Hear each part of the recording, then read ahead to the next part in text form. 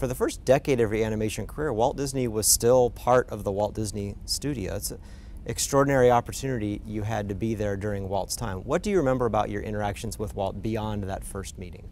Oh, beyond the first meeting, it turned out that every Friday, uh, his secretary, Dolores Boyd, would call me up and say, Walt has wanted you to do uh, something for him. So I'd come in into his office and he'd give me his check for uh, $300. and he wrote it every, every, every Friday. And I'd take it over there to uh, uh, payroll and they would cash it for me and I'd come back and I'd give it to him. And you know, after about a couple of times I thought he certainly is not getting very much money. you know?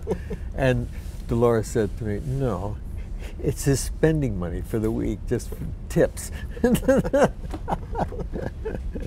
As you started as an animator, you had the opportunity to learn from some of the greatest artists in the history of the medium, the folks that we now refer to as Walt Disney's legendary Nine Old Men. How often today do you find yourself remembering or even calling upon things you learned from those artists? Oh, quite often.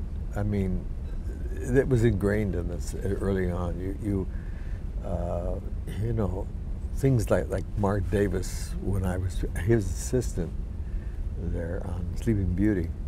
Uh, he said to me, "Just remember," he says, "25% of it is the doing it.